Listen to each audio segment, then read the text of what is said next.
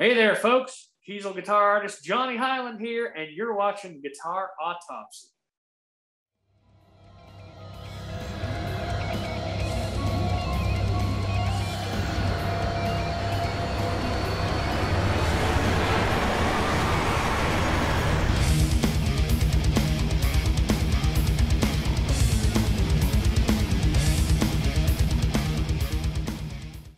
Hey, welcome to another exciting episode of Guitar Autopsy. I'm your host, Rusty Cooley, and we've got uh, my great co host, young Zach Adkins. Great co-host. Yes, the great hope. You've been elevated now. Great. great co host. Cool. You do all the hard stuff. But, uh, That's true. but welcome to another exciting episode. We've got country guitar legend and virtuoso Johnny Hiland on the show today. So um, stick around let's make it happen. So, Johnny, thank you for taking time out of your busy day to join us, and uh, we really appreciate it. Um, how's things going for you? Man, I'm doing fantastic, Rusty, and I appreciate y'all having me on, brother. What a what a treat this is. Right on, man. So, what you been doing to keep yourself busy these days? Well, you know, I've actually been pretty blessed, man. I actually uh, just went to uh, St. Petersburg, Florida, shot a couple more True Fire courses, Okay. And of course, I'm still teaching privately from home when I'm here. Do you But I- have? Uh, I'm sorry. sorry? Do you do you, do you have students that come to the house, or is it all Skype, or how's that work? I've finally let a few folks come in, uh, you know, as long as they're social distancing with me and stuff, but, and, you know, no bear hugs and stuff like that. But right. But yeah, I finally let a few folks back in, but most of the time it's on Skype. So, Okay, that's cool. Do you do you do you have a good number of students, or do you just take a few, or? you know, it varies, man, month, month to month. Uh, you know, I've had upwards to 20 in a month, and sometimes it can get lower than that. But the way I teach, man, it's like, look, I'm going to show you a lot of stuff in an hour and a half's time. Take your time to learn it, but don't come back to me till you're ready. Right, that's cool. So when you're teaching, do you um do you have the students record the lesson? Is that how they do it to to keep up with all the information? Yeah, yeah, you record it. That's that's one of the cool features of Skype now is you can actually record as you go. So Sure. When you're teaching, do you so you just you just play everything like fast and slow, and then they got to just catch it by watching the video back or whatever? Or do you actually Well- provide notation or or tabs for the licks and examples? No, I don't do any tabs, but I tell you this, man, it's been pretty neat that students have been able to follow along with me. I've I've been able to slow my playing down enough to where they can gra- either grab it on the spot, and then if they take too much time, they'll go, "Well, man, I'll just catch it on the rebound," you know. Right. Very cool, man. I And those took guys down at True. Fire. I'm sorry, Zach. Go ahead. I said I took lessons from him. That's awesome, man. Yeah. Yeah, that the guys down at True Fire are great, right? Oh, they are, man. They're Man. they're absolutely the best in the world, brother. They're they're family to me. I've I just finished up my fifth course uh, course with them, and Really? looking getting back do some more. Yeah, that's awesome. Um, they've been wanting me to do my own channel over there, um, and they got me set up, and I just, man, time just not enough time in the day to do. It. I heard that, brother. There's never enough. But uh, I did a product with them a few years back called Wikipedia. It was pretty cool. It's very fun, um, and they're very professional and just super nice people. The nicest I people ever. you Heard know of what I that mean? course? Yeah, you, you have or haven't? I have. Okay, cool, cool. Yeah, I like that product a lot. TrueFire has a great way of setting their their presentation up when you go to to to watch it, or if somebody buys it and they're going to watch the product. I mean, it has a lot of great features like built-in metronome tuner. You can get the tabs, or you can get the guitar profiles. You can watch the video. You can watch any specific video. It's more user friendly than any product or company that I've been involved with in the past. Yeah, different different camera angles. all Yes. kinds. And I yeah, I'm pretty impressed too. I I I think I've only actually uh actually learned from one True Fire video, and it was you know, and even going back and when you you know when they finish up yours, they go back and have you check things over and whatever, and it's it's pretty interesting to do. Yeah, for sure, and and it, it's it's important to me to have that ability. I don't like like it when you go in and do something and then you don't get to like give it your final okay before they put it out. You know what I mean? Right. So I want I I you know man I want to go over everything and make sure that it's what I want it to be. You know I don't want some you know just because you know sometimes you've probably experienced this before, but like you know you ever gone into a recording studio and the guy that was recording you was so impressed with your playing that everything you do is great. You know what I mean? Absolutely. Right. So that's that's hard for you to do your best, isn't it? Well, and then on top of that, man, they love everything that you do. Right. And then when it comes out, you sound completely different than the original tone you gave them. Yeah, yeah. So I, so I, it's it's hard to do when when you know the person's a fan or or just like, oh man, that was a great take, and you're thinking to yourself, no, that was pretty crappy. Let me do it again. No, no, that was good. And it's like, no, man, I'm gonna do that again. You know, because you know, then you end up putting out a product that somebody else. I mean, you know, the producer might have thought was great because he's a fan or something, but it's not my best. You know, and I have to be careful of that. You know what I mean? So it's the same thing if you're doing something for an instructional company and you play something they're like oh no that was good and it's like no you know so by getting having the ability to check your work before it's released is you know in a roundabout's what i'm trying to say you know it's, it's uh Well, it's that's that's a very true statement, man. I think uh, obviously you want the best for yourself, and probably more hypercritical of your own work than anybody else. So for, for sure yeah, you know it's because you know in the end of the day i know what i sound like yes, you know yeah. and i know what needs work and i know what doesn't need work you know so Right. so that's pretty cool man so that's cool how did you get into teaching man. I've been teaching for almost thirty years now. I've taught a lot. Man, that's I've been teaching. Let me see. I think I've been teaching a little longer than that. Uh, I don't know. Do the math. I think I started teaching in '87. Oh wow. So yeah, it's it's been a few years. It's been a minute. Well, in 1987, I was 12. Okay, well, you might have been one of my students if I lived in the area. Yeah, no Yeah. kidding, man. I wish Yeah. I had that lessons from you back in the day, brother. Man, that would have been cool, man. So tell me about you know growing up, your influences and uh, whatnot. Who who you really were your favorites and who inspired you, and and how you got you know some some of the diversity in your playing that you know you have things that most country players don't have. Well, I think I think everything started for me, Rusty, back when I was a real, real young kid. You know, I started playing bluegrass music, you know, when I was about four years old.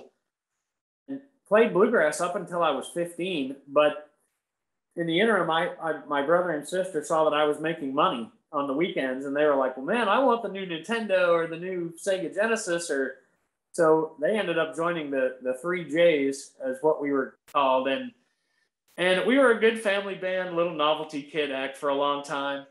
But then at the age of 10, I got to see Ricky Skaggs play the Bangor Auditorium in Bangor, Maine, and that changed my life. And I, after seeing Ricky, I was like, oh my goodness, man, I, I you know, the acoustic needs to go in the closet and I need an electric. yeah, was uh was was Ray Flacke playing guitar for him then? No, actually, he had just, he had, he had just stopped working with Ricky then. Yeah. Okay, he's a hell of a picker. Oh, Ray later, you know, uh, what a beast, man. He's Oh incredible. yeah, for real. Yeah. So, dude, are- w- w- you said Bang Bangor. Where? Where? Where'd you see him at? Okay, so where are you from originally? I'm actually from a little town 100 miles northeast of Bangor called Woodland, Maine, which is right up in the Calais area, St. Stephen, New Brunswick area. That is very much is about as far north as you can go, isn't it? Well, I mean, Aroostook County, you can go up further, but yes, as far as the eastern tip goes, yes. Yeah, boy, man, it's cold up there, bro. You're not kidding, brother. Yeah. So where are you living now? Well, actually, currently, my wife and I, uh, two years ago, moved to Chatham, Virginia. We we left Nashville. It kind of got a little too Lady Gaga for me. Yeah, I hear you. you know, country music got a little bit too pop and a little too, uh, I don't know, it just the traditional side of it kind of went away. Well, I, I know exactly what you mean because to me, when I see country music videos, it looks like they, they dress kind of like '80s rockers Yeah, with the jeans and the boots and the tight pants and the fringe and stuff. You know, choreographed kicking. You know, yeah, I don't, I don't fit any of that mold, brother. So that Yeah. kind of, if the cowboy hat and the boots are gone, man, then so's Johnny. You know, That's right. Yeah. You know, I'm I'm I'm a very much a traditionalist in that sense too when it comes to country music. You know, I was I was raised around it all my life. My parents and you know all their friends and stuff, and so you don't, do you own any tellies, Rusty? I do. Do you? It's not actually a Fender Telly, but it is a uh, it's it's a Tracii Guns model. And I know that's not very country, but uh, it's his signature model that I got when I used when I was had my last endorsement deal. Um, so it's uh, it's not a traditional Telly, but it's it's very much a Telly. Um, it's uh, it's got it's got two humbuckers, so it's not traditional in that sense, but it does have coil taps, so I can get the nice twang and stuff. There you go. It's pretty cool. I've always been a huge Telly fan. Um, always. Cool. uh, for as long as I remember. Um, I love the way they sound clean, and I love that spank you get with it, and I love the uh, I love the way they sound with high gain as well. It's very cool and unique sound. Yeah, it really is, man. I, you know, speaking of being a traditionalist, man, I, you know, uh, joined up with Kiesel Guitars back in 2016, and when we did my Johnny Hiland model, man, I've been more impressed with this little guitar than I've ever been any guitar I've ever owned.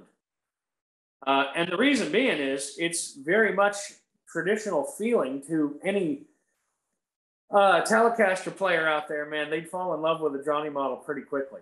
That's cool, man. I'd love to get my hands on one. So tell us about it. What what makes it so special? Uh, what what are your? Do you have some specific features that you had them do on it?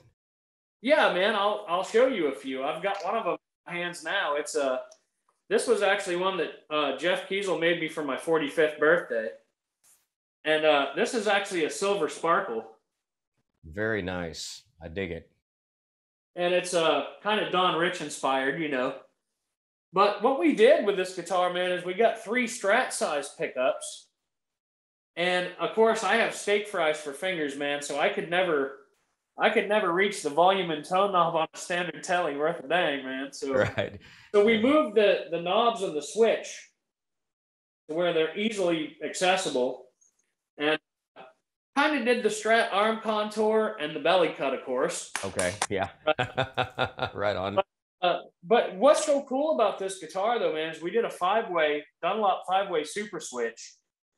And so one, three, and five uh, on the switch are your standard telly style. Second position is the second position strat tone, like the Albert Lee thing and Steve Wariner, guys like that. But then the fourth position is just the middle pickup by itself. And that, so if I'm in Stevie Stevie Ray world, I can do the rhythm stuff with the middle strat pickup and then hit the neck pickup and do my leads and that kind of thing.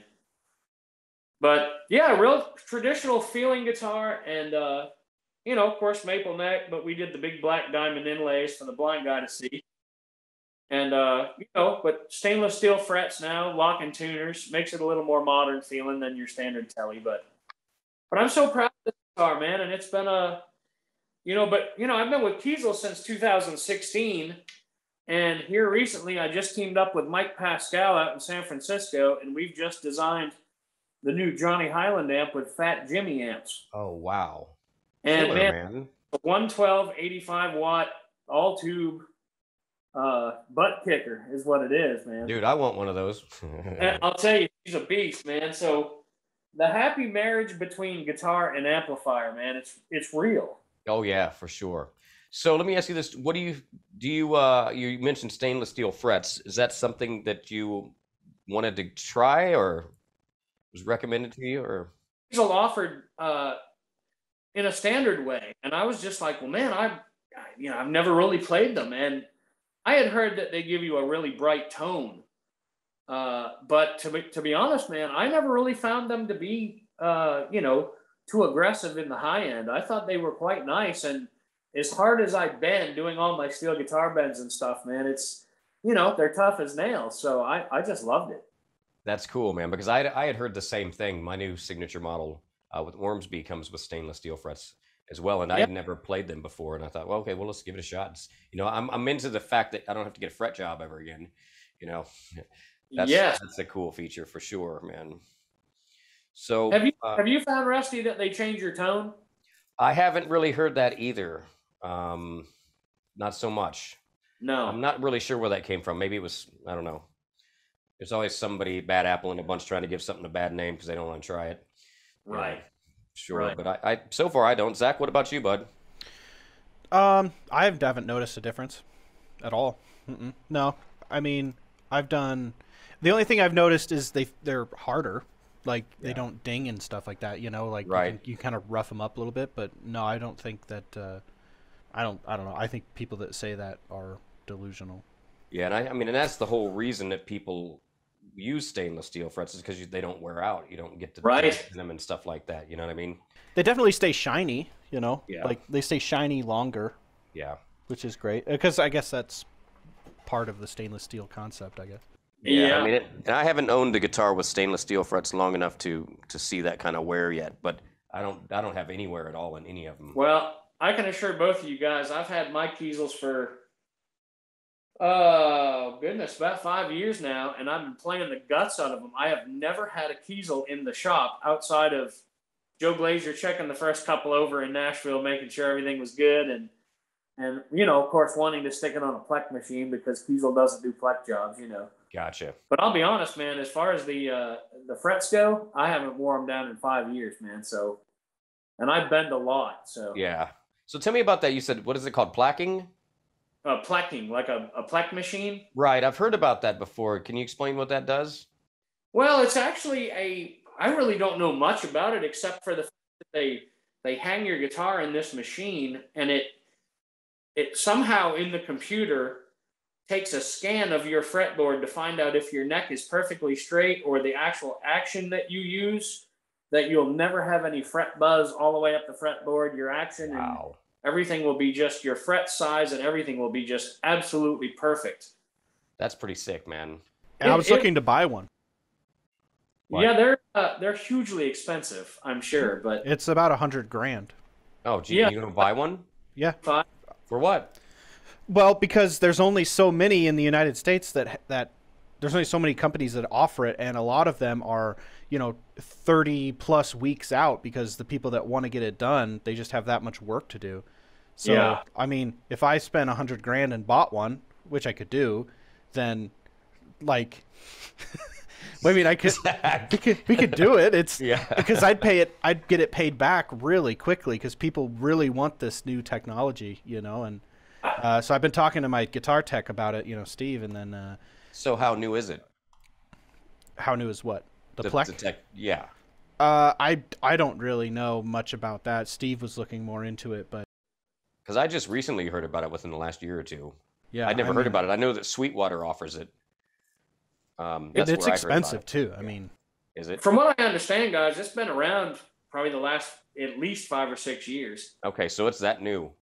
yeah and and uh i know like to get one done at joe Glaser's shop in nashville is like 126 bucks something like that Oh, that's not too bad.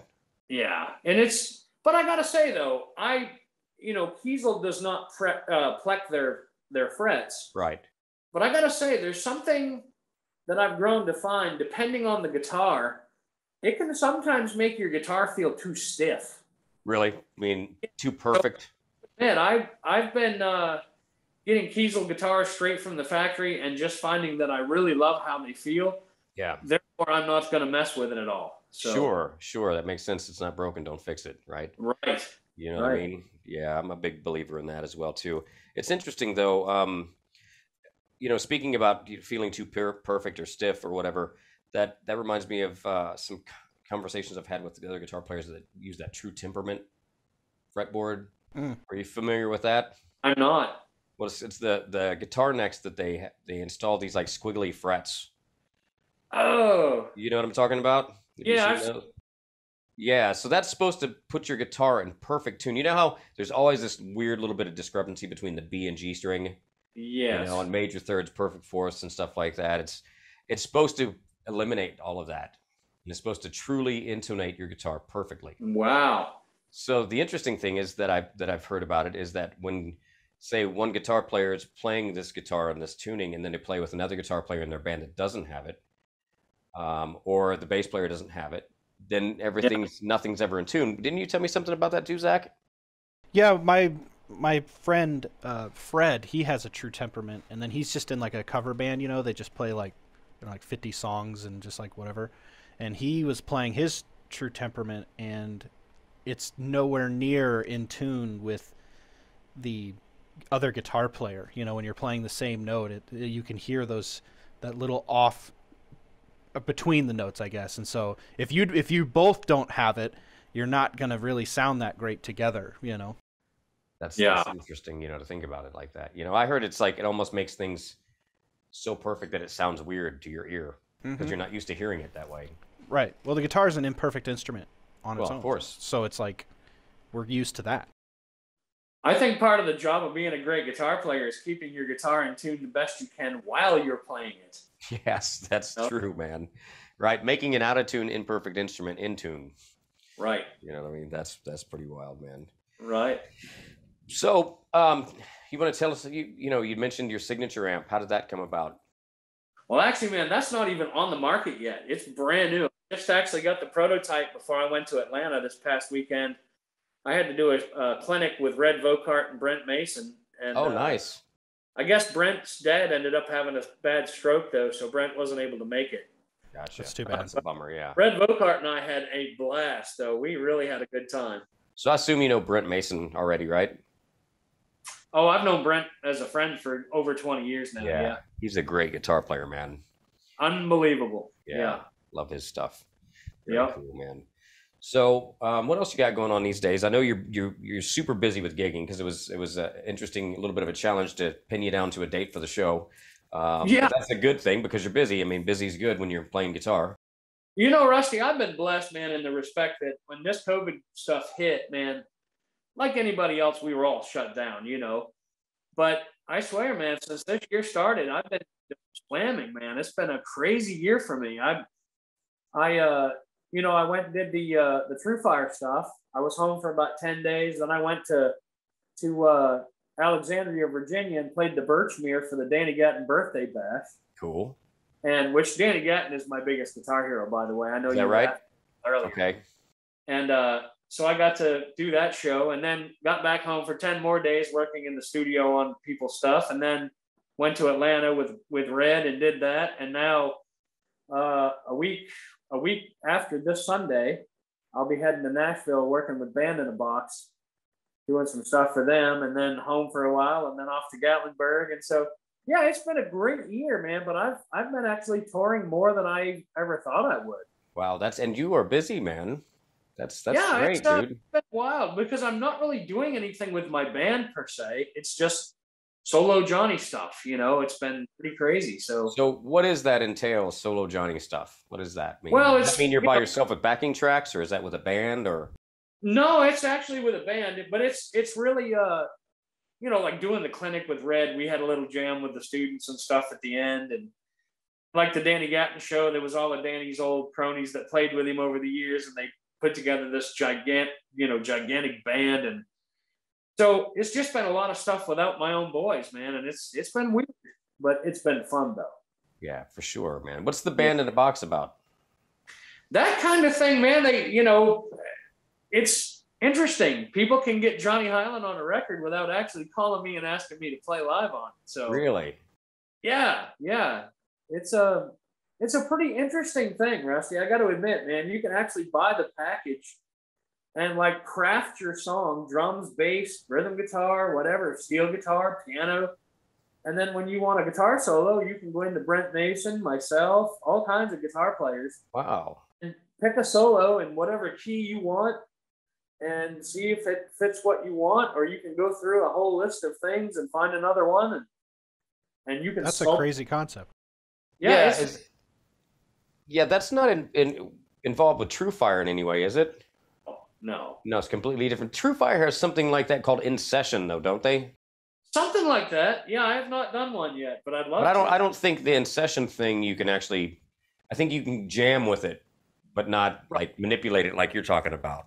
right you can't actually re- like record your own song see band you can take a song that you write and literally craft the band around your song so like you can you can actually send in a like i guess through your computer you can log in put in a chord chart and band in a box will somehow complete your song with bass drums and rhythm guitar to your chart and then you can put all the other instruments in around it man it's just crazy That's super cool, man. That yeah, really cool. neat. Now, I, I must say, I'm tickled to death to be a part of that and to be doing that, but I don't really know the first thing about how to use it. Although I have had buddies send me songs they finished and go, "Hey man, check out my new song," and it's me playing the solo, and I'm going, "Record?" yeah. He's like, "No, your band in a box did though." Yeah. That's That's that's, pretty funny because you, you recognize and go, wait a minute. How'd you get my solo on there? Oh, it's so it's like I think they piece licks together and Mhm. kind of stuff like that. So it's neat. So you can take a solo that you recorded for Band in the Box, and they can actually extract one lick from a different solo, and you know, could they extract like could they take like a solo that Brent Mason did and you did, maybe another guy, and cut licks from each of you guys' solos and put it together to make one solo? Now that I don't know because tonally, I guess we're all kind of different. But not saying that that's not possible because they do they do put a little box on your guitar that basically runs the the direct signal through as you're recording. Right. So, they get a DI of it, right? yes, So they could Yeah. potentially do that. I would assume that'd be cool, man. That'd be It's neat. I could I could take and splice Eddie Van Halen and Yngwie and you know I don't know. s- you Right. Somebody else put it all together in one solo. That'd be cool, man. that would be bad to the bone, man. Yeah. That'd be fun. That's that's an interesting technology. I'll have to look into that. Yeah, it seems pretty sweet.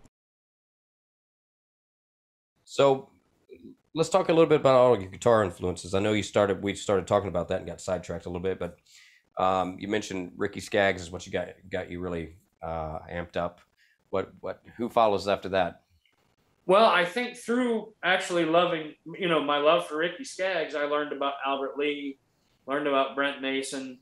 And of course, you know, I was a country music lover, man. So I was watching TNN at the time and, you know, the Nashville Network on TV a lot. And of course, Austin City Limits. So I guess the weird thing for me, Rusty, is I loved all the early, you know, all the country guys, you know, Brent and Albert Lee and, Yeah, and of course, Ricky Skaggs, Steve Wariner, Vince Gill, guys like that. yeah, But then at the same time, man, I was into like Stevie Ray Vaughan, Eric Johnson, yeah, uh, Eddie Van Halen, of course. You know, Sure. I, I was a child of the '80s, man, so I, you know, loved Van Halen. And but then later on, as a teenager, after I got my first electric when I was 12, and but I'd already played bluegrass, so I just kind of morphed over to the electric. And but you know, remember getting my first wah pedal, stuff like that, learning about Hendrix and guys like that. So it was uh and here's actually a funny story for you guys. So my dad took me to northern kingdom music in bangor maine. And of course there were a lot of amazing players in maine too. Lenny Breau come from maine and his brother denny is still up there you know and of course uh but there was a lot of amazing guitar players around the area like bill pierce gary rand uh, mark miller guys like that that i saw through the down east country music association as i was doing stuff with my brother and sister and so I was meeting all these amazing electric guitar players, but I wasn't playing much myself. So it kind of, you know, even the local guys really inspired me to to want to pick up the electric. But so dad took me to Northern Kingdom Music, man. Took me a half a day out of junior high school. Drove me two hours to Northern Kingdom Music, and of course I wanted a telly because that's what Ricky was playing. Little did I know it was a Joe Glaser telly, but yeah. so anyway, we got there. This was 1987, and uh, and it was so funny, man, because they had no American-made tellies in stock. And my dad refused to buy a Japanese-made guitar or whatever. He, at Right. the time, he was like, "No, I'm not. You know, it's got to be USA made, or I'm not going to buy it." And you know, God love my dad wanting to buy American, right? yeah. So right. so Absolutely. uh, anyway, the, all they had was Ameri- a couple of American strats, and of course I'm looking at my dad going, I don't. That's not where Ricky played. I don't, that's not what I want. yeah. And then of course, uh, Dad actually called the owner of the store out, named Dana Flood, and he, uh, Dad said, "Look, there's two strats on the wall, a red one and an ugly charcoal gray one." Dad said, "Play them both and pick the kid out the right one. You know, the one that's the better of the two guitars." So, of course, Johnny wanted the red one, and I ended up with the charcoal gray one. So, the whole time, Rusty, what makes me laugh about this story, brother, is I still have that strat to this day. oh, that's awesome, man. And I remember Dana Flood handing my dad a uh, guitar player magazine that was called Strat Magic because it showed you basically how to set intonation, how to check your action. We live two hours away from our local music store. So Right. dad was like, Well, I'm going to learn how to do all that stuff for you. So your guitars always stay in tune and they play good. Well, come to find out, man, I so I was all bummed out about this ugly charcoal gray strat. And Dana handed me that magazine and he opened it up. And of course, there's a picture of Eric Clapton with a gray one, yeah. a silver Oh. gray. Nice. And so I was like, oh, cool. Okay. A strat will work. Yeah. Yeah. Yeah. And, uh, and of course, later I had played so many gigs, you know, in country bands at the time that, you know, by 15 or 16, I had a couple of tellies by then that I bought off, you know, out of the Uncle Henry magazine, you know, secondhand, but, you know, Sure. That's but awesome. uh, yeah, my That's first cool, electric man. was a strat, not a telly. Nice. Yeah. So so um, did, once once you got that thing home, did you actually enjoy it? Yeah, and now here's another crazy story, guys. So we car home, and my dad lets me play it for a few hours, and I get up the next morning, and uh, I didn't see my Strat. I was like, "Oh my goodness, what's going on?" My dad had the Strat out in the woodshed and tore the whole guitar apart. Oh no! And I was like, "Oh, and here's my dad, you know, a pipe fitter welder for Georgia Pacific Paper Mill." So I'm like, "Yeah, I don't know, Dad. You're not a guitar tech, you know." But come to find out, man, when Dad put that guitar back together, it played better than when it come off the wall. So he had been doing his homework. Well, he read that Strat Magic magazine, you know, the Guitar Player magazine. God, you know, God love him for doing that, you know. Man, that was But- that that was in '87. That issue. Yep. I probably had that issue. Oh, no doubt, man. I think that thing got passed around, man. It was like the the Bible for Stratocasters, Do you, you know. what was? Do you remember what was on the cover? Yeah, it was a angled red Strat, which was hilarious because it reminded me of the Strat that I wanted, That you wanted, yeah. and that's why I remember it to this day. yeah, it's funny how those things turn out, man. Yeah. I had a uh, guitar that me and my dad had made uh, when I was in high school. It was made out of Warmoth parts, and um, you know, me and my dad built it together, and he painted it and um, whatnot. And we put it together. I mean, you know, it, it- we didn't go outside and cut a tree down and carve it or nothing. like. Right. We had bought parts and stuff, and but uh, you know, I don't know. Shortly after I got out of high school, I ended up selling it to one of my students because I got my first Super Strat, and um, you know, I, it was gone. Many, many years later, I think it was around 2010 uh, or nine, I get a email from this kid who's not a grown man. He's got his own wife and kids and stuff like that. And he's like, "Hey, I just wanted to see if you're still playing guitar. I'm the guy that bought that guitar from you." Uh, back in-" wow. Yeah. So after all those years, I probably sold it in 88, 89, maybe 90, somewhere around there. And I got it back finally. You know, I thought I, I figured I would run into it in a pawn shop or something somewhere through the years. Right. And I finally got the call from or the email from the kid saying, "Hey, he goes, he goes, I was going to get rid of it, but I wanted to see if you wanted it back first.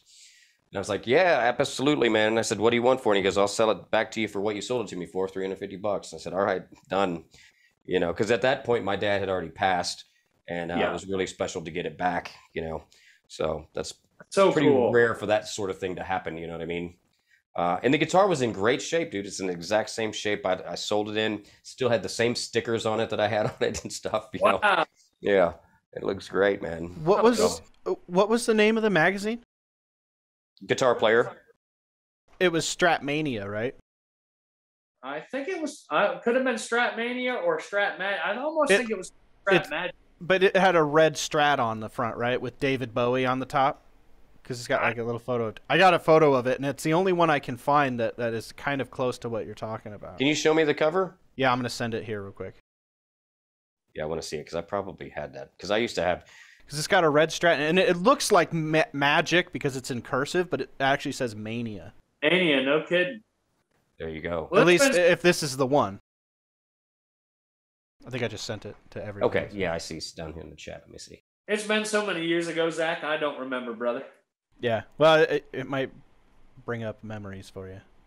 Well, Because it's remember. got like wiring the super strat Oh, yeah. history, real Yep. story, fine Yep. tuners. I had this issue. I had this one. Yeah, it looks sick. Yep, I remember that. My first guitar was a uh, Wow, it was only two ninety five then. yeah, Magazine. cheap. August '87, dude. Yep, I was grad. I just graduated high school that year. wow. My first guitar was a Fender Squier Strat. Yeah. White, white with white, and uh, it was really funny because it was on my twelfth birthday. It was in between my my brother and I's birthday because he's in January, I'm in March, and so it was like mid February. And my dad bought my brother an electric drum kit, and he comes downstairs with it because it was after Derek's birthday, and he told him he was getting him a drum set. So he comes down and he's got all this drum stuff set up. We come home from school, and Derek's like freaking out and super excited about it, and jumps on and starts banging away at it. And I'm just pissed, dude. I'm like in the corner, just pissed off because I didn't get anything, you know. And my dad's like, he's like, "What's wrong with you?" And I was like, "Well, I thought I was gonna get something too." And he's like, "It's not your birthday yet." And I was like, yeah, but still, like Derek gets to play and I don't get to do anything. I'm just gonna sit here. Like I was so mad. And then he like he just let me pout for like a half hour. And then he comes downstairs and he had bought me the Fender Squier Strat with an amp and all the stuff. And he's like, I was just I was just fucking with you. And I was like, Oh great, thanks. Zach, do you you remember what the amp was, brother? No, it was it was just a shitty little Fender amp that you get with the. It was like a one of those guitar gig pack type things, you know, where it comes with all the stuff. My dad already had like thirty guitars, but he didn't want me touching them. Yeah. Well, man, I remember my my uh, Dana Flood was you know talking to my dad when when we picked out the gray Strat, or Dana had told Dad that was the best Strat in there. And the funny thing was, uh, I found out at the time that I could not see rosewood fingerboards. Oh, because there was a black one there too with a black guard that I thought was pretty cool, but it just I couldn't see to play the rosewood fretboard. So I've always been a maple neck guy ever since. But Right. funny thing is, uh, Dad bought me a, a Peavey uh, Classic Chorus 130 and a wah pedal Nice. at the same time. So that was actually my gigging rig as I started in country bands when I was 12. There you go, man. My first uh my first rig was uh, a Peavey T27 amp and a Peavey Decade amplifier. Oh man, Yeah, man. I don't know if you remember those old Peaveys. They came with those big plastic cases, you know, Yep. um, and the little Decade amp. oh my gracious! And I remember awful. Yeah. Yeah. yeah. there was. It was like two sounds, shit and shittier. you know. hey, I'll I'll be right back. Sorry, guys. Yeah, man. No worries. Keep talking. But uh, You know, Rusty, the funny thing is, too, brother, after you know, my dad was very much uh, a man who wanted me to learn every instrument in the high school band uh, and really thought that I would become a music teacher, uh, like for a high school or a grade school or whatever, and then teach school during the year and then play in a band during the summers. And so I graduated uh, first honor essay in my class and then went on three years at the University of Southern Maine uh, as a history major, but a minor in elementary ed. And the crazy thing is, man, is after, you know, he, he said, you man, you got to wait till you're 21 before you can make up your own mind as to what you're doing. And as much as I had played throughout my life, uh, I just can't believe it was a big shock to my mom and dad when I left college after the third year and said, I'm moving to Nashville. Now, I think the freaky part is, man, is that they they were just scared of a, you know, for a legally blind guy to just go off on his own down to a big old city, right. Raised in a little tiny town, you know, and so they were but you know, dad was pretty rough on me, man. He said if you if you're making this decision and you're going, don't you call me for anything. Yeah. And so I moved to Nashville with 96 bucks in my pocket, man, in Holy. 1996. Holy cow, dude. And uh, but I'll be honest, man, my buddy Sid, who I played music with, Sid MacArthur, I played music with him all the way from the time I was 12 to, to you know, basically 21. And uh, he called me and said, "Man, I live in Orlando now, dude." And uh, he said, "You know, I just got back from Nashville, man. We we do great down there, man. Why don't you fly to Orlando, meet up with me, and we'll drive to Nashville together." And so it was like God answered a prayer, man, because I had someone who already knew my disability Yeah. and had worked with me for years, actually helped, you know, assist me and get settled in, you know. And uh, That's pretty but cool. it was man. amazing, though, man. I know it was weird because within the first, well, I had a gig the second day I was in Nashville, man, and the next thing I knew, seven years straight, I was playing about three shifts a day on Lower Broadway in Nashville. So, man, you pretty much got there and went right to work. I did. Was that I through your? Was that through your connection with your buddy? Yeah, you know, scared shitless, man. But we just went to the clubs and asked if we could sit in, you know, with any band we could see, you know. And uh, so by the next day, I had a gig, yeah, from three to eight in the afternoon. Wow. And- It was a Sunday afternoon, and then funny thing is though, is the old Telecaster I had bought when I was 16 in Maine. After so long, man, the I took it over to Joe and I said, "Man, it's weird. The neck feels like it's moving or something."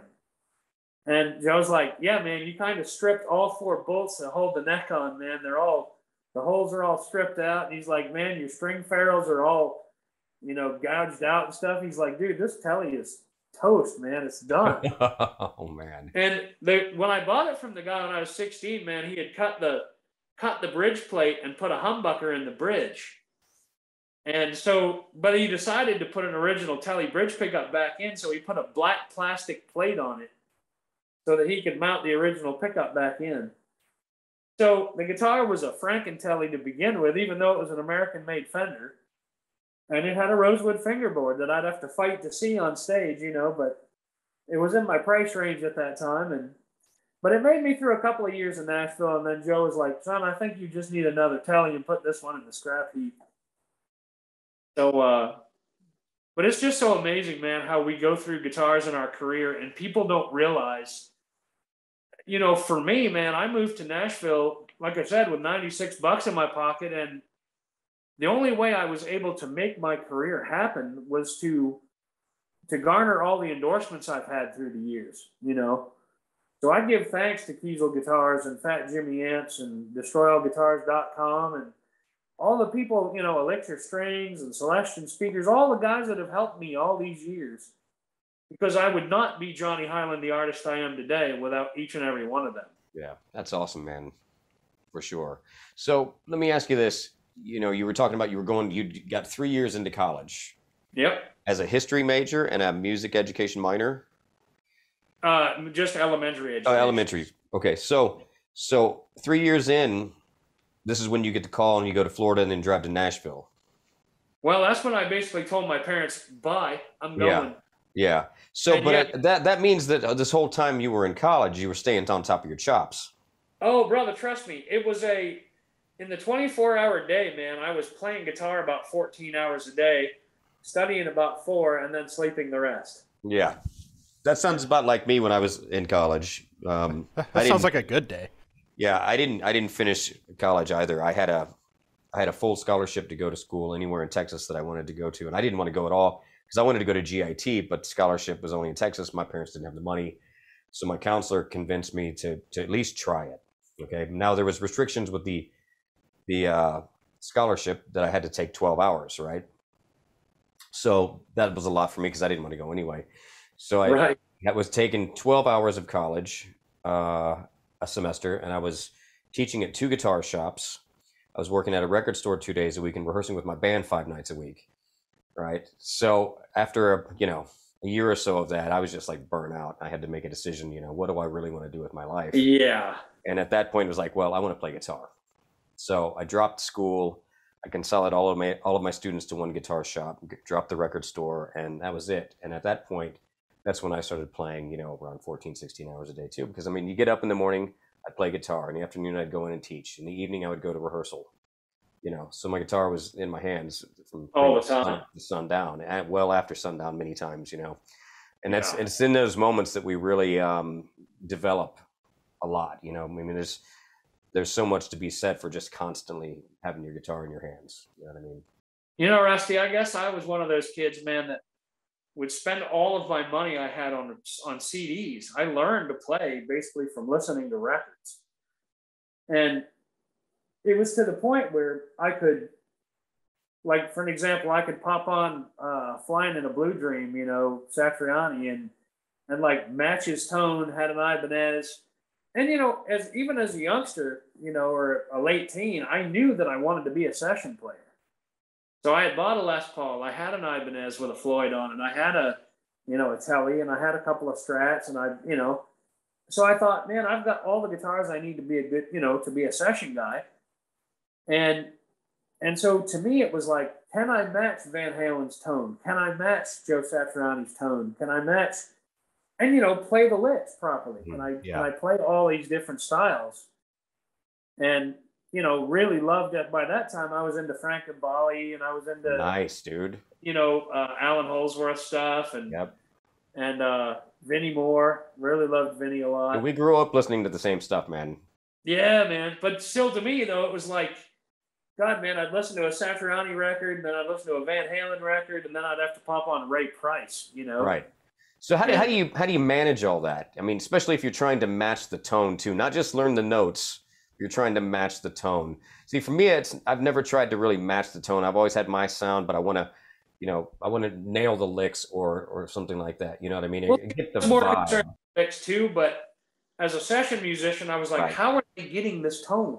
Yeah, I wanted to know how they were getting it. So I started reading a lot about, you know, Hendrix pulling tubes half out and, you know, interesting. or what it was when someone busted a speaker, like a blew a speaker in the session and accidental, you know, uh, accidental things that caused records to be cool because, you know, a speaker blew or something like that. So, and of course, I learned about fuzz pedals and wah pedals and different things that people used. And, but you're right, though. I don't think I actually found my identity uh, until moving to Nashville and realizing what a tube amp was and and Right. what it was to down. Because man, I was into rat gear. I was into all that Yep. stuff. Yep, that's And that's par for the course during that generation. Yeah, and then when I moved to Nashville, and I saw guys like Redd Volkaert or Pete Mitchell or you know guys like that that were actual Nashville road dogs, man, and and you know uh, icon players. You know, I mean, Pete Mitchell played for Ernest Tubb and the Texas Troubadours for God's Nice, sake. You know, he, oh yeah, so when I go to Nashville and I see him lugging a Fender Bassman with three Boss pedals bolted to the bottom, wow, he could just plug in a cable and run this, run the Yeah. power, and go play the gig. You know. yeah. He had the pedals bolted to the amp. Yeah, and I was like, well, wait a minute, man. This this is kind of cool. I mean, you go from sacking all this shit to a gig, man, and find out that the best players in the world are using an amp, three pedals, and a guitar. Right. Right. Yeah. That was awesome for me. That was the Yeah. life for me. And then I realized to find my own identity, I essentially have started over several times to find the Johnny Hiland tone. Like, you know, it's like people say, you know, well, Eddie Van Halen's tone changed when he went from the old Marshalls to the 5150s. Yeah. And then he changed from, you know, the old Kramers to, uh, you know, Music Man, and then went to Peavey, and you know, so it's kind of the same way with me. It was like I, as I was swapping gear in my career, it was like sometimes I had to allow my make my pedal board uh, to where it was assisting my tone.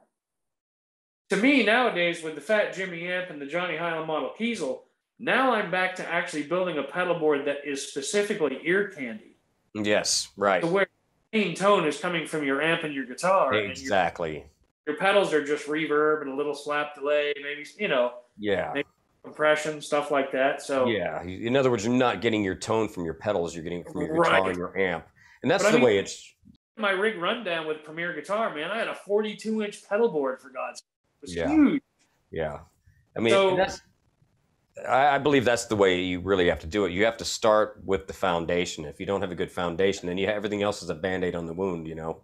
Well, you know, Rusty, I'm just going to put it out there, man, because I know there's a lot of people watching this. And frankly, man, I'm so, you know, it bothers me when people call Johnny Hiland a gear whore.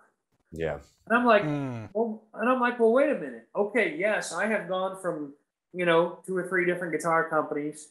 A lot of the amp companies I were with either went out of business or they just couldn't, you know, couldn't do it. Right. And so, frankly, man, I think as you change gear as an endorser, you realize it's just as much about the people as it is the gear. Oh, absolutely. I will agree with that 110%, man. But then again, I also want to attribute that as well to me being on my own tonal journey through this Yeah. whole time. I mean, Yeah. As a 46 year old man, I can honestly tell you, I have finally found my Johnny tone, the tone that makes me addicted to want to play every day of my life. that's awesome, man. So it's taken me this long though to find that identity to where I go, yeah, that's this is exactly the rig I've always wanted. And yet some in some cases I feel like I've gone backwards because I had the huge rigs, the two half stacks, the 42 inch board, and now I'm back to a 112, you know, all tube combo amp with a with a T style guitar from Kiesel and a few pedals on the floor. That's it. Yeah, man. I uh I've I've done similar stuff like that in my career. I mean, I played an old Fender M- M80 amplifier uh, through a Fender cabinet with a Yep. tube screamer and a wah pedal and maybe a phase 90 or and a delay or something here and there. And I played that forever. I played that on my I played that almost exclusively on my instrumental album, but by then I think I was using a tube power amp with the preamp. But I mean, I played that forever, and you know, the tone controls on the gain channel were gain, volume, and contour. Contour. Ah. Yeah, there was no highs, mids, lows, treble, nothing. Just gain, Right. contour, and, and and volume. And I played Right. that forever. And pe- you know, people would look at my rig and laugh and say shit, and it's like, you know, because I'm not playing some high end tube amp or I'm not playing some preamp, rack preamp, and multi effects processors and all that stuff. It's like, man, I don't need it. You know. And it Well- took me forever to graduate away from that. At first, my first step getting away from that was like that. Okay, well, it's a solid state preamp. I'll try a tube power amp with it. So I started using some tube power amps, and Yeah. that was pretty cool. And then a friend of mine introduced me to a Bogner Uberschall. oh, and, yeah. uh, and that was the first tube head I ever bought. And uh, yeah, and I still I still have that. But I, I think in many ways I'm still on my tone quest myself. You know what I mean? Well, I'll be honest, man. Now that I have, I, I guess you know, I'm getting older too, Rusty, and I'm realizing I don't want to sack half stacks around no more. Yeah. Take out 40 pedal boards. yeah. So the rig I have now, man, I can literally take out my Johnny Hiland amp, my Kiesel guitar, and a handful of pedals on an earth board. I'm using earth boards now today because they're magnetized. Cool. So if I want to change out pedals, I can just pull the magnet instead of ripping my guts out with Velcro all the time. Yeah, man, that's great. But, but the funny thing is, man, I'm, I'm back to being able to say, you know, I can go out and play a honky tonk gig.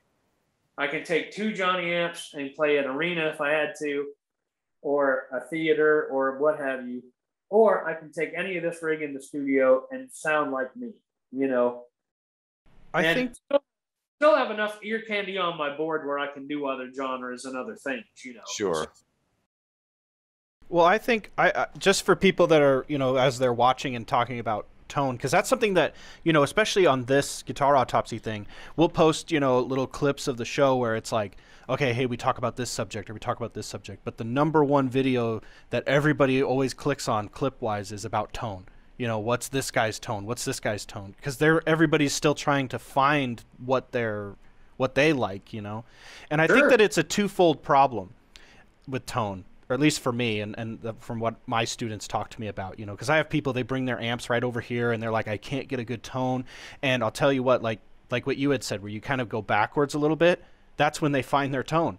Like you have to stop worrying about what the internet tells you you know stop worrying about what all the pedals that everybody's trying to f- push on you and start like rusty said you know you're putting band-aids on a wound like that's not you got to start at the foundation of what it is like and some guys like really like Angus Young. Okay, well then you don't need a tube screamer and all these other pedals like you know the metal pedal, you know all those bullshit things. I was like, you need a freaking small Marshall tube amp that he used way back in the day. Those little like whatever the hell they were Yeah, called. I can't remember. like- whatever. Yeah, like just a little guy, and they're like, oh no, he can't get that massive tone from that. And I'm like, yeah, he can, and he did because he does, you know. And then uh, so that the, the first problem I think is that you know just overcomplicating something that doesn't need to be complicated.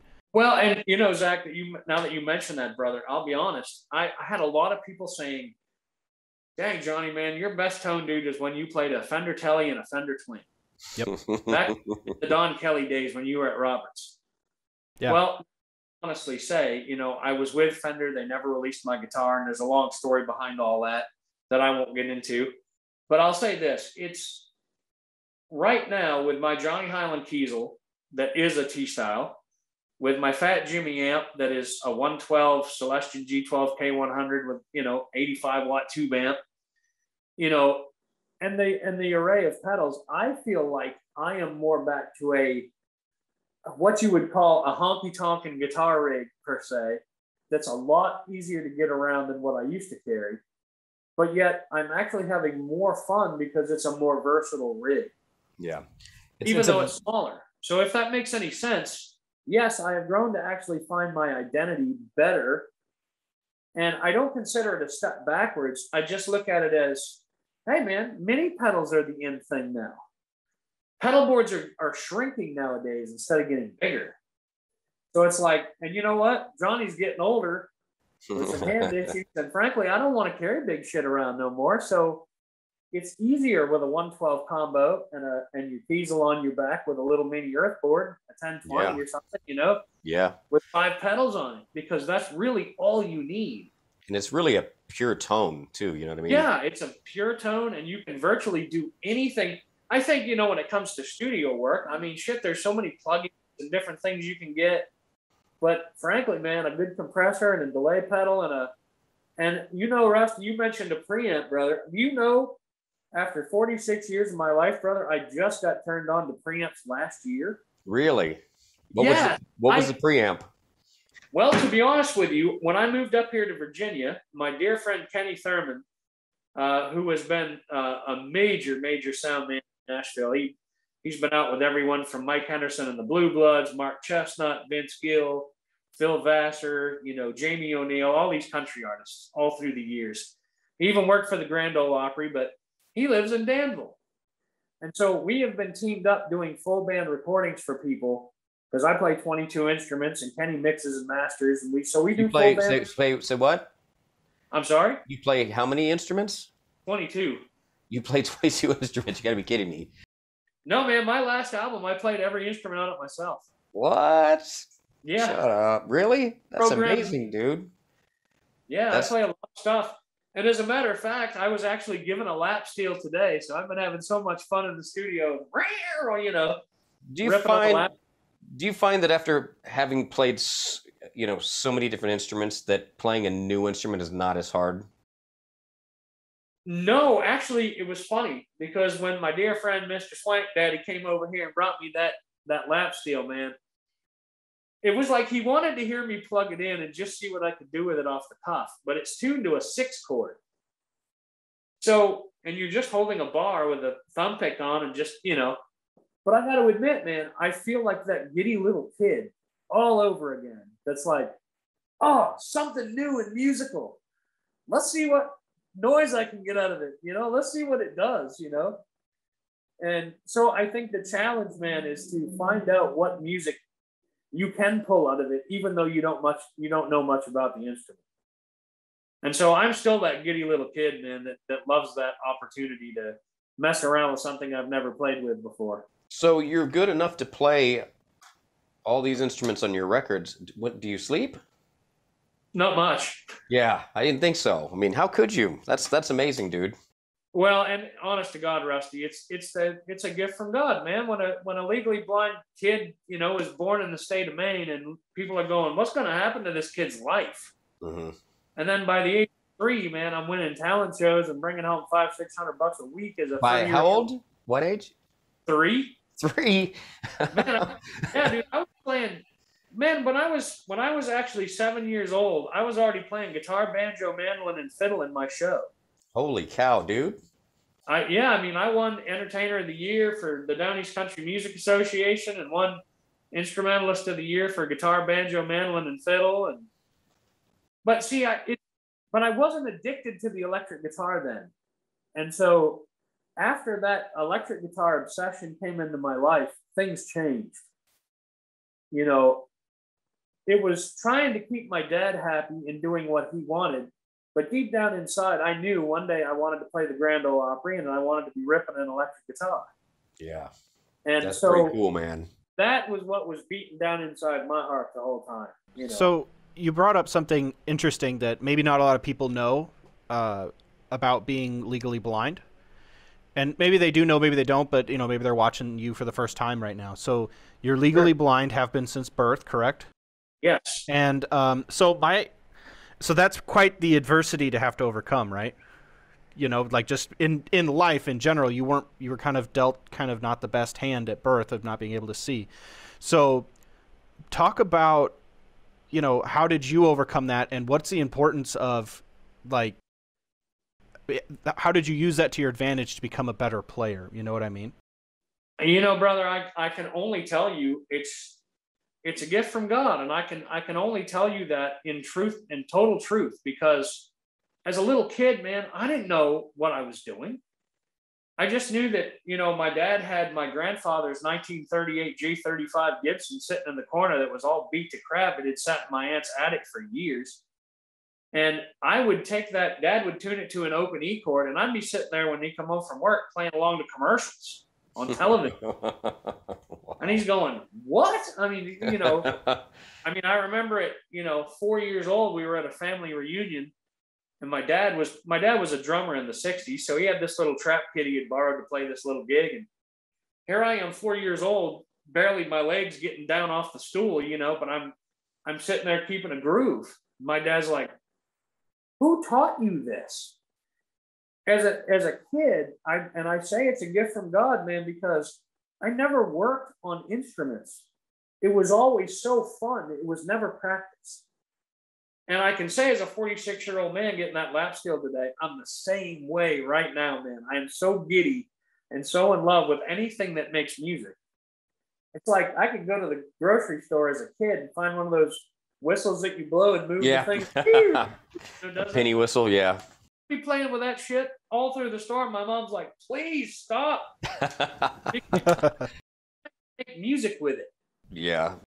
So everything musically for me as a kid was all about fun. It wasn't about sitting there practicing a major scale 14 hours a day or but then again it was like I I knew that I needed that. But here's an example. My dad took me to a guy named Dave Kenyon in in Canada for a banjo lesson. Dad bought me a banjo for a hundred bucks. And the guy gave me about a 10 to 15 minute lesson and told my dad, I can't teach this kid because his eyes aren't focusing on me. I don't, I don't know what he's seeing. I don't know. And so he kind of gave up on me. But by that weekend, I was on stage playing Foggy Mountain Breakdown, you know, an old Earl Scruggs tune, and and won all these contests playing banjo after a 10 minute banjo lesson. How does that happen? So, That's all in the ears, man. So I can assure you, I didn't, but now granted, when I got my electric guitar, then dad started taking me to Bill Pierce in Bangor, Maine, uh, to take actual formal lessons. And I, I will say, learning the theory of the guitar and, you know, Billy was a GIT grad, man, still lives up in Maine and he's still a beast of a player, man. He's incredible. Yeah, I know, I know that name. Yeah, Billy's awesome, man. And I, but I remember it was funny, man. It was like going to a classical fusionist to learn how to play Ricky Skaggs. Yeah. you know, it was, but like he like he showed me instantly. He said, Johnny, all music theory is the same, brother. Whether you love Ricky Skaggs and I love Yngwie Malmsteen, it's still the same theory. And so, as he taught me over time, I think what Billy found interesting is that I was spreading my wings, so to speak, because I was loving so many guitar players you know, anywhere from Eric Johnson to Ricky Skaggs to BB King and, and Steve Vai, you know, and just loving every ounce of guitar music I could get my hands on. Yeah. You know, I loved Jeff Healey. I loved, uh, you know, Jeff Healey related, I related to him because of the blindness thing and went and saw Jeff three times live. He was incredible, man. I just yeah. loved him. So, but then again, I also saw a guy who could play blues and mix it with rock and do it well. Yeah, I was a big Jeff Healey fan when he came out. Me too, man. Not his vibrato, man. His vibrato was insane. Oh, it was incredible, man. But I, but I guess what I'm saying is, I think it's it's amazing that I was able to, uh, you know, just get into so many different styles and love them all. And so, yes, it was weird for me to be practicing pentatonics like a bastard to be a chicken picker, but yet going, oh, well, what was that Yngwie lick you just did? What's that? Yeah whole neoclassical thing. You know, what yeah. was that all about? For sure, man. And so you're right, a lot of ear training, but yet my interest level was just peaked all the time. So I couldn't be that kid to read tablature out of a guitar player magazine or watch a Hot Licks video and be able to grab stuff. But what I was able to do was watch Austin City Limits and grab inspiration. Yes. Watch Hee Haw and grab inspiration. Watch whatever I could see on TV, you know. That's and, yeah. I'm sorry. Go ahead. No, so I mean that's really the the overlying thing for me is is it wasn't work for me as a kid. It was practice was not practice. It was fun. Now, on the other hand, as Zach was saying, living with this visual impairment, yeah, I wasn't a popular kid in school. So my guitar was literally my best friend. Oh, yeah.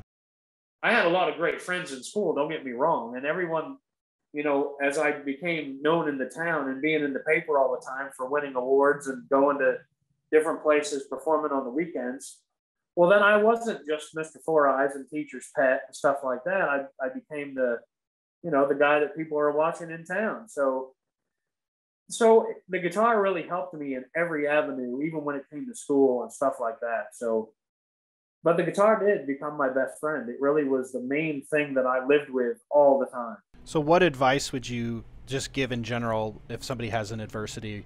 What would you say to those people if they Well, wanted to be a musician? Never give up on yourself. If you have a dream to play music and you find out that you do have a God given talent where you can grab an instrument and have so much fun with it, like I did, where it wasn't work to practice, it was fun to practice. And you wanted it so badly that you would be willing to do and whatever, however many hours it took to become good at the instrument. Uh, you know, don't give up on yourself. Guitar is not always easy. It's not always fun. If it was, we'd have 14 million rock stars out there. Exactly. But the fact is, it's a hard instrument to to to master. Yes, and I don't think I think Rusty and you, Zach, and myself all would say we're not masters at the guitar. No. We're still learning. Yes. And I've stolen from everybody. I'm a thief. I'm a guitar. Me too. yeah, man. Brent Mason, Danny Gatton, you name it. Yeah. Stolen from every guitar player. Even when Zach got a lesson with me, I stole stuff from him. He just don't know it. oh, great. That's awesome, man. But anyway, I guess what I'm saying is if you have the inspiration and the desire, don't give up on yourself. Stick with it because that guitar will be your best friend if you want it to be. And you know what? It's okay to have days where you feel frustrated and you put it down and you walk away, but you go right back to it the next morning. Pick right back up and keep going because it will be with you always. The guitar is not going to get pissed at you and walk away. It I can't say do that. I say that to my students. I say, you know, girlfriends come and go, but guitar lasts forever, dude. Yeah. When they Oh. start when they start getting up at 14, 15 years, they want to have a girlfriend. I'm like, dude, th- it's not going to last very long, and you better get keep Well, getting good at the guitar. Brother, I've been married for almost 17 years now. That's awesome, man.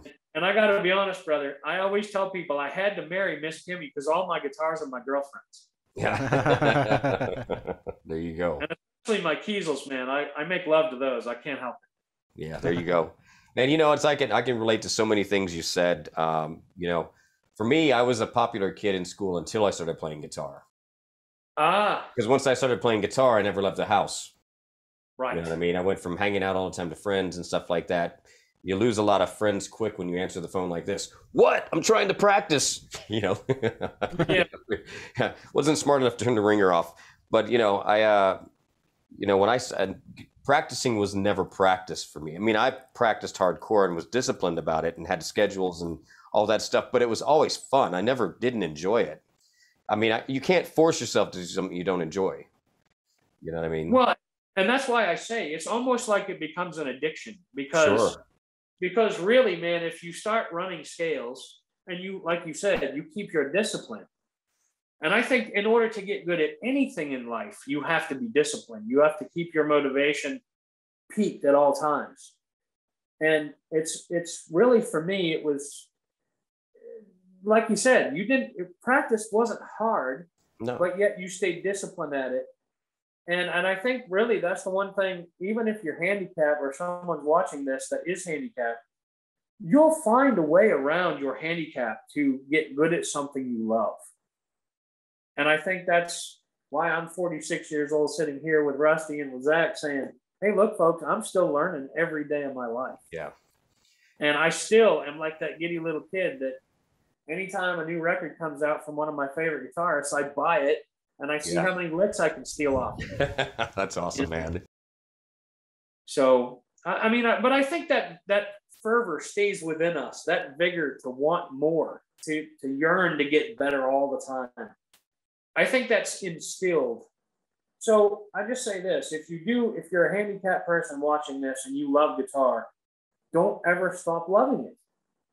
Don't allow your discipline and your your motivation uh, to stay disciplined allow you to lose your fun in guitar because some people can take it to the extreme.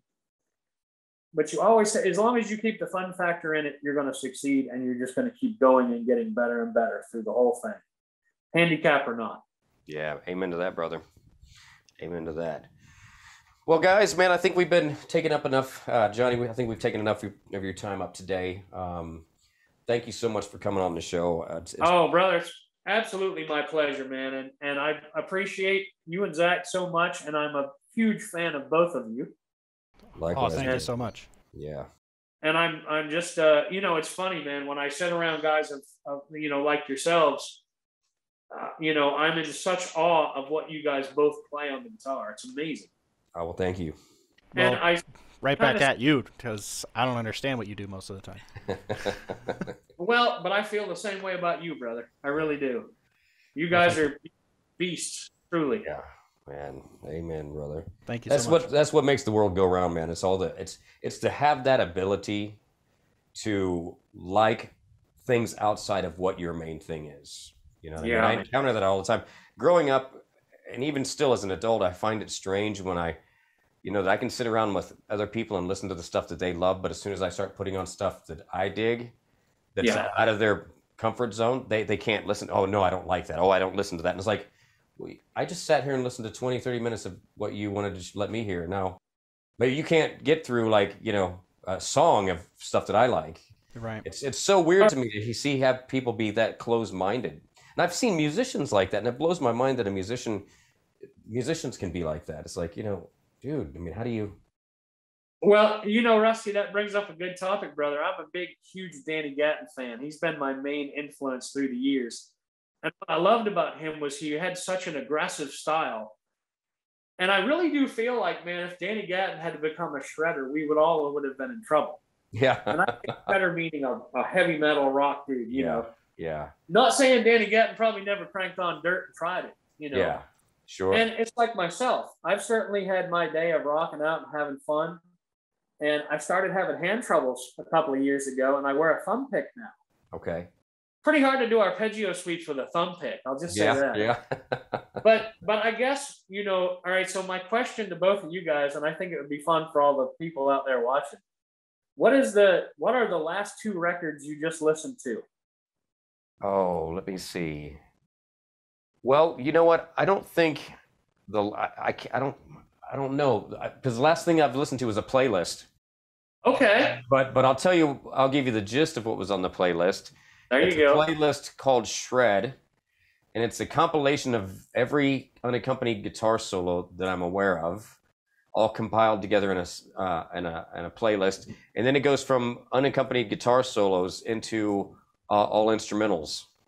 Oh wow! So it's got everything from all the shrapnel guys to Holdsworth to Di Meola, the fusion guys. I mean, everything of every genre. Country guys. Um, you know, it's got some Brent Mason on there. I got to add some of your stuff down there, man. Um, Not- you know, so it's it's a compilation of a, of just all great guitar players from unaccompanied solos to instrumental work. Well, you know, Rusty, it's funny, bud. We we uh not too long ago, Andy James came on the Kiesel family. Mm-hmm. And man, what a beast! Yeah, he's a killer guitar you know, player. got in the Kiesel family, we got Andy James, we got McLaughlin. You know, Jason Becker's still with Kiesel, of course. God love Jason, man. Oh man, absolutely. And uh, big influence of mine. Allan Holdsworth, obviously. So when I look Frank Gambale, so yeah. when I look at the Kiesel family, man, I I kind of laugh because I'm like really the only country boy that's really just traditional chicken picking a lot, you know uh, even though I mix it with other genres, I'm still kind of that that country boy, you know. Well, I mean, so that's that's what makes um, you know, I mean, you're in great company, dude. Oh my goodness! Because man. I mean, it's got legendary rock guys, yourself, legendary country player, legendary, one of the best, if not the greatest, jazz fusion player ever, Allan Holdsworth. Oh, unbelievable, you know, man! And Gambale's up there too, man. And not not to take anything away from Frank, because uh, yeah. he's a beast in his own right. I mean, Frank was a big influence on my playing as well as Allan.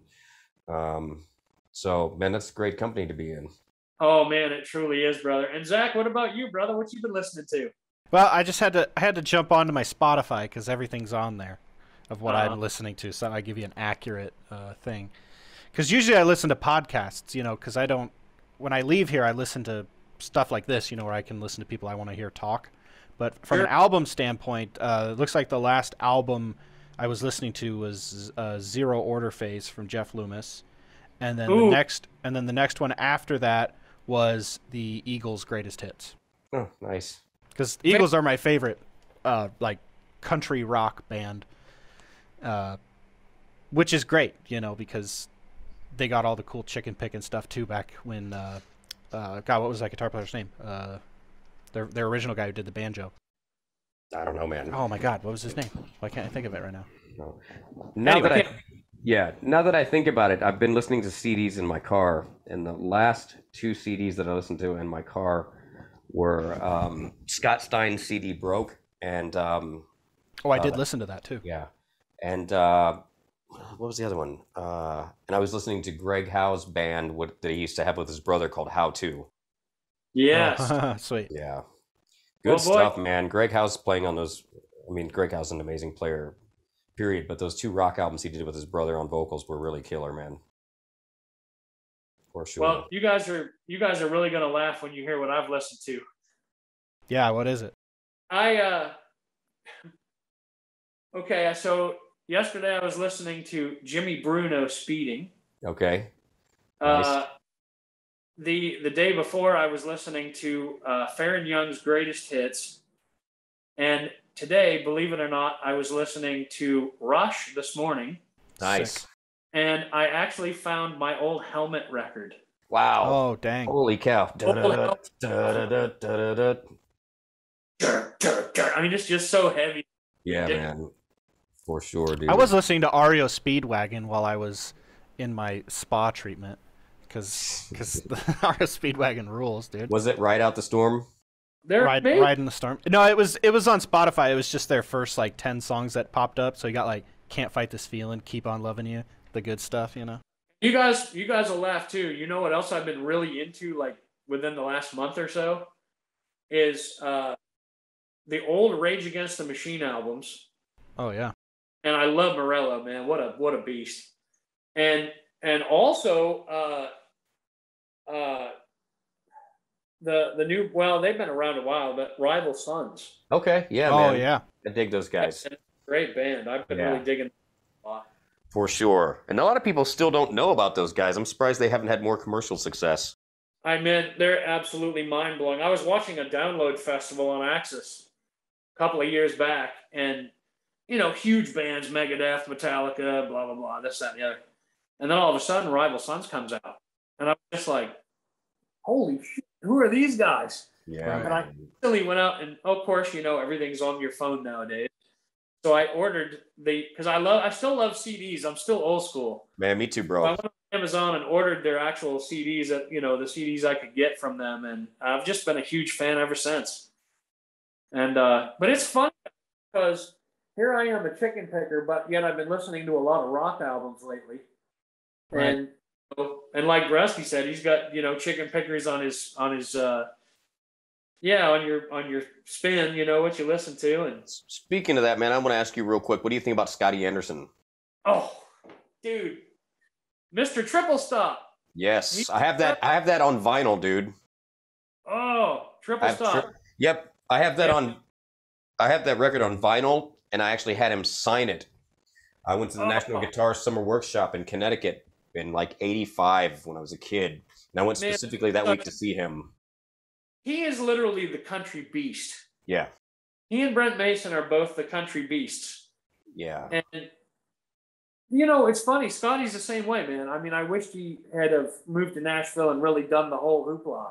yeah, But God love him for not doing that. yeah. He's You sick. know, I mean. I, I mean, he's like, he, you know, I was with a buddy of mine. We were playing up in Ohio, and someone had said, "Johnny Scotty's playing four doors down, dude."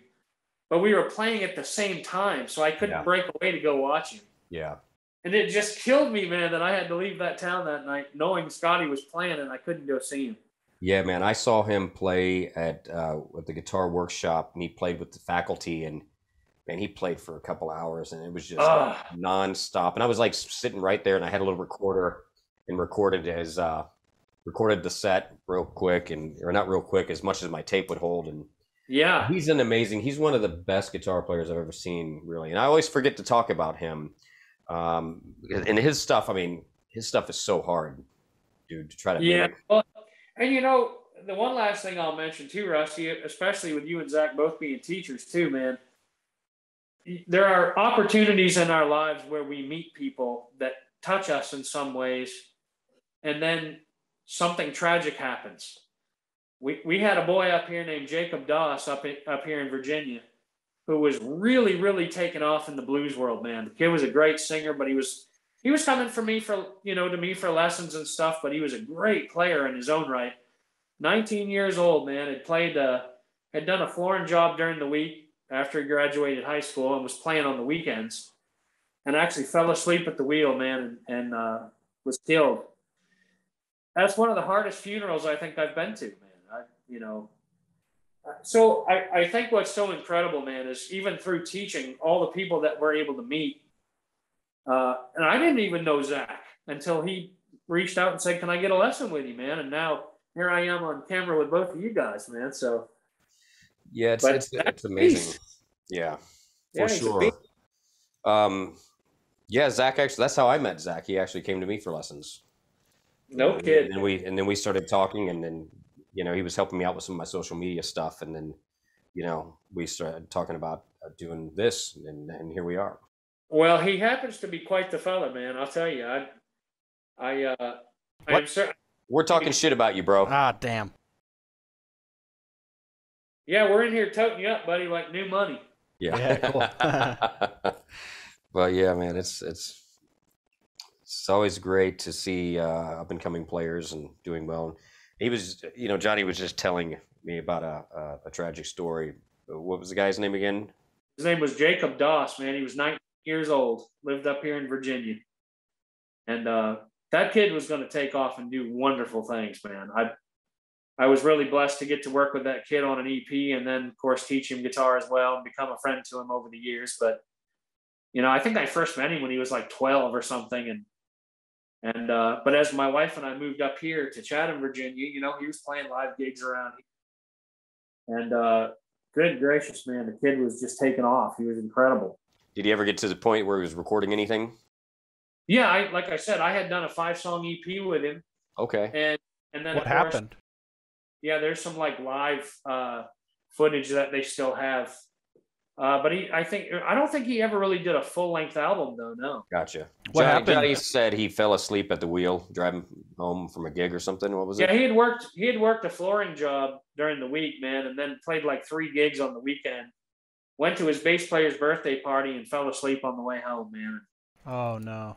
I had a car wreck, man, and it took him, man. So I, I just, but I told Rusty it's amazing who we meet as guitar teachers. Yeah.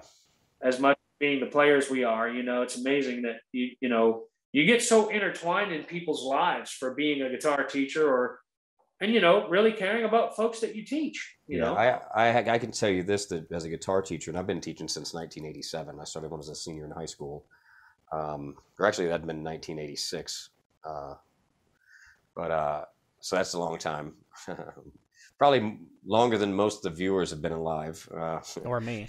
Yeah, or you, son. And uh, it's it, I, I have to say that this job, because of this job as a guitar teacher, if you want to call it a job, because it's playing guitar, and that's not really working. But uh, uh, I've met some, some of the greatest people ever because of this job. You know what I mean? Yeah. yeah people I would have never in any, any other situation have ever been blessed with coming in contact with. You know what I mean? So it's it's. You know, Russ, I, I remember, brother, hanging out with Mark Tremonti when they were, you know, mm-hmm. back in my PRS days, and yeah, he was actually saying, "Man, I, I'm going to go start taking some lessons from this guy named Rusty," and I went, "Rusty Cooley?" He's like, "Yeah, man." He's like, I said, "Oh, dude, you're in for it, man," because he got a lesson or two from me, you know, just yeah. hanging out, buds, you know. And then he said he was going to go to you, and I'm like, I won't ever see you again, brother. You'll be, yeah. You'll be yeah, man. Me and Mark have been friends for a long time, and uh, he's he's one of those great people that I've had the pleasure of meeting. And if it wasn't for teaching and you know being a guitarist, and you know, I mean, that would never happened. You know. So actually, brother, we kind of got sidetracked on the preamp thing too. I, are oh, yeah. you still using a preamp? Um. Metal? Uh, no, not really. I mean, I I have a Kemper, which is the preamp and power amp yeah. that I use, and I'm not using it exclusively. I kind of use it exclu- you know, when I'm teaching and stuff because it's easy, you know, and I, you know, it's not like a tube amp. I'm not burning tubes all day long. Um, yeah. And then I have, uh, I do have three tube heads. I've got uh, behind me. I don't know if you can see them or not, but I've got a PV6505 Plus. I got a Bogner Uberschall, and I've got a Revv Generator P100P And oh, that's yeah. what I use more like, yeah, when I'm playing out live, I use that. But I've, I got the Kemper kind of during COVID. And for me, everything has got to pass the rehearsal room test before it really makes the stage. Yeah. I, I did play one gig with it, but it was, it was kind of a short gig. So I just did it anyway without really giving it the full on rehearsal room test. So I'm still not sure how I feel about it 110%. You know, I kind of think it's hard when we were talking about getting your own identity and, and your own sound. I, for me, I, and this is my own personal belief, uh, you guys might agree or disagree with it, but I think it's hard to have a real pure, unique, identifiable sound when you're playing on anything but a tube head. Yeah. Because if you're playing on digital stuff or process stuff or amp modeling or or you know even if it's amp modeling or if it's profiling, it's still not a real amp to me. That's right. You know what I mean? For me, it has to be. You know, people get their real sounds by playing on real tube amps with their own unique blend of pedals or whatever in their guitar and you yep. know um, think that's where the real sounds come from the greatest sounds at least throughout as we know it in history so far um, you know what i mean but well, uh, you know, honestly, Rusty, I think one thing, brother, that happened to me kind of by accident is, and I, of course, I just told you. I mean, I haven't really been hip to preamp pedals and stuff of that nature since you know a couple of years ago. But when I moved up here, my buddy Kenny Thurman and I, we've teamed up doing full band tracking for people. But Kenny plays guitar too, and he he was running this little solid state Fender Champ. Mm-hmm. but on his pedal board, he had one of the old ART Studio V2 tube preamps. Okay, yeah. And I was like, well, man, what the, you know, what is up with this, man? And he's like, dude, that's really what's giving me the true old Fender tone. Yeah. It's having that tube preamp through the solid state amp. It's giving me the tube like sound, the tube sound. And I thought to myself, well, wait a minute, man, I'm running a, you know, 185 to 100 watt tube head I wonder what it would be for me to try a solid state preamp pedal on my board because as you know a touring musician i don't want to put a tube pedal on my board yeah while you're on the road and stuff man that's yeah. kind of dangerous you know? yeah for sure and so anyway i happened to meet nick greer at the NAMM show one day and i because my dilemma has always been you know having a super you know ultra clean high headroom chicken picking tone was Danny Gatton being my hero. It's like, how do you get that Danny Gatton tone through a 100 watt tube amp? Because Danny used to play through like a Vibrolux or whatever and crank it to 10 and it would just yeah. great. Yeah. And so I called Nick Greer one day and I told him the whole story of meeting, you know, of rehooking up with Kenny and how he was using a tube preamp through a solid state amp. And of course, now he's playing a Boss Katana. So yeah. he's still using the tube pre. And I said, Nick, do you have any pedals, man, that would preamp pedals? Because I said, I noticed on YouTube you make a plethora of them. You got, a, you know, quite a few of them. I said, do you make something that could give us 100 watt tube amp players that Danny Gatton sound without blowing everybody's eardrums out? And he said, dude, he said, I'll tell you what, man. Uh, I, he had just created a pedal called the Soma, Soma 63. And that has been a main one of the main pedals for me nowadays, man. I just don't want to. I don't even like to play without that amp anymore or that pedal anymore. It's just such an amazing. Uh, I can literally take a watt tube amp, totally clean tone, Johnny Hiland tone, whatever, my signature tone, and then go into a Danny Gatton tune, hit that preamp pedal, and it sounds like I'm playing a cranked Vibrolux.